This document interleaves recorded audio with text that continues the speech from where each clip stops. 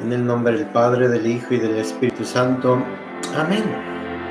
Ya es viernes y hoy viernes no comemos carne, recordando siempre que lo que la iglesia nos propone es solidarizarnos con los pobres y someter nuestro cuerpo. La carne ha sido siempre como un alimento exquisito para ciertas personas que alcanzan recursos para comer. Entonces, si nosotros alcanzamos esos recursos, entonces en cuaresma no comemos la carne para solidarizarnos y con ese dinero podemos compartir con los necesitados. Y al no comer carne, sometemos nuestro cuerpo a nuestros caprichos. No quiere decir que sea malo comer carne, claro que no es malo comer carne y tampoco, y, abstinencia de carne y ayunamos hoy. Hoy es un día de ayuno. hay muchos ayunos. Hemos platicado en los últimos dos días sobre ayunar. Este, ayunar es para desear estar con el Señor, tener sed de Él, que Él ponga en nosotros esa sed en nuestro corazón, ¿verdad?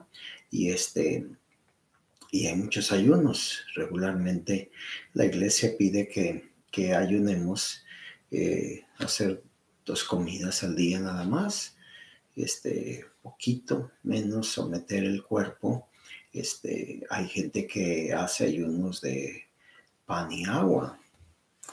Primero tienes que saber que tu cuerpo está bien para hacer eso. Segundo, que tu trabajo no te requiere un desgaste enorme que puedes sufrir un mareo, un desmayo y puede eh, golpearte, puedes este, ocasionar algo más serio si ayunas. Siempre el, discernimiento es importante, ¿verdad? ¿Qué quiere el Señor? Y obviamente los ayunos de las, de las trivialidades y de las afecciones que tenemos, ¿verdad? El Evangelio de hoy es, bueno, las dos lecturas, Isaías 58 del 1 al 9 y el centro de esta lectura es el ayuno que agrada al Señor. Pero siempre va a ser importante el ayuno que agrada al Señor. ¿Qué le agrada al Señor? Tenemos que luchar por agradarlo. El Evangelio de Mateo 9, versículos 14 y 15. Los seguidores de Juan el Bautista se acercaron a Jesús y le preguntaron, nosotros los y los fariseos ayudamos con frecuencia ¿por qué tus discípulos no ayunan? Jesús les contestó, ¿acaso pueden estar tristes los invitados a una boda mientras el novio está con ellos? Pero llegará el momento en que le lleven al novio y entonces ayunarán. Palabra del Señor.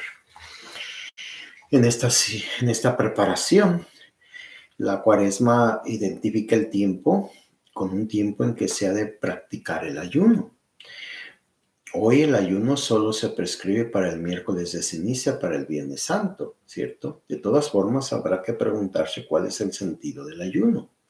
El hermoso poema del libro de Isaías que hoy se lee como primera lectura nos ofrece un oportuno oráculo del Señor. El ayuno que quiere Dios nos lleva a compartir el pan con el hambriento, a acoger en casa a los que no tienen techo, a vestir al desnudo al prestar atención a nuestros parientes. Por tanto, el verdadero ayuno es el ejercicio de las obras de la misericordia. Por supuesto.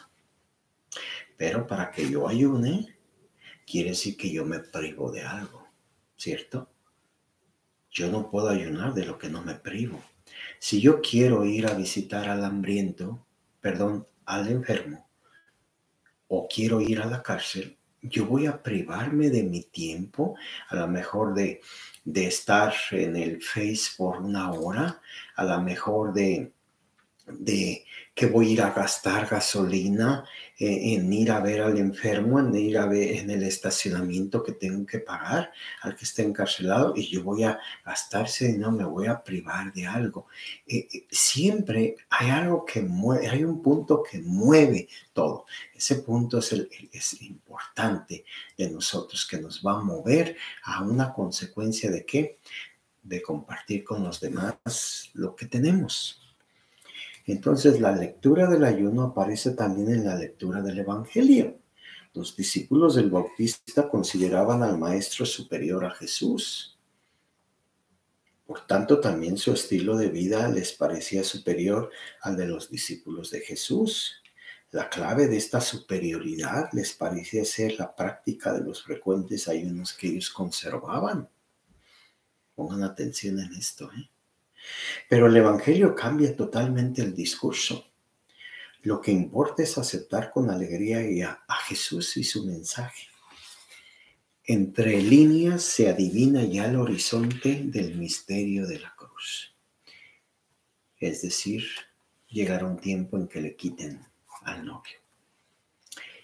El sentimiento de soledad que puede embargar a los discípulos de Jesús a causa de su muerte, ese es el ayuno más costoso para el discípulo sentimiento, el sentimiento que va a embargar a los discípulos por su muerte, ese va a ser el ayuno más costoso para ellos. Meditemos, Jesús es el verdadero pan para el discípulo. De su palabra se alimenta nuestra fe. Si Él nos falta, nuestro ayuno es doloroso. Nada ni nadie podrá saciar nuestra hambre y llenar nuestras carencias. Con todo hemos de dar gracias por la alegría de haber sido llamados por el Evangelio. Hemos de dar continuas gracias a Dios por, la alegría de este Evangelio, porque el Evangelio es una buena noticia.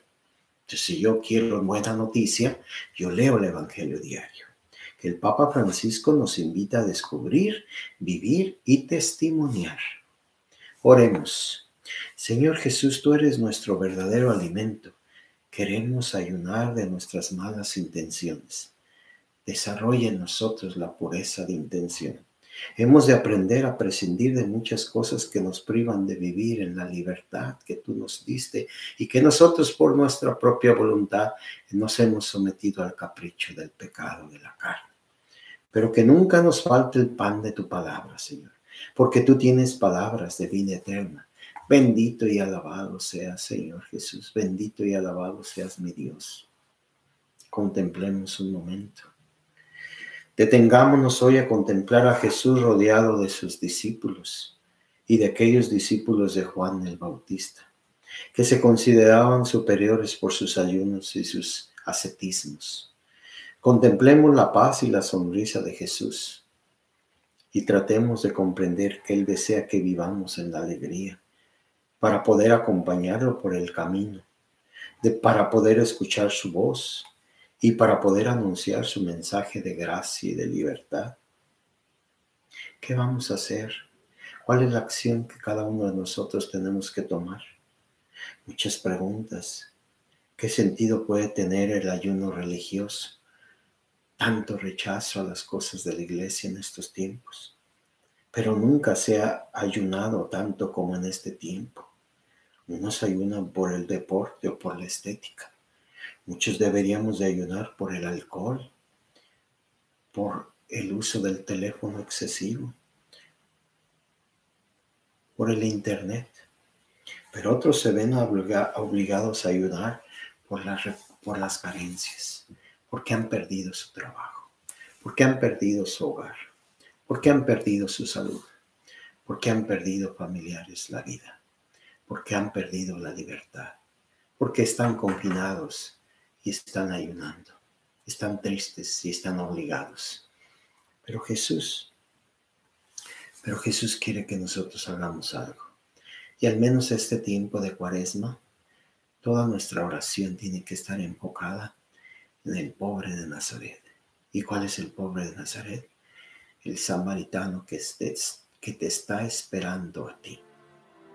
El Señor les bendiga. El Padre, el Hijo y el Espíritu Santo. Amén.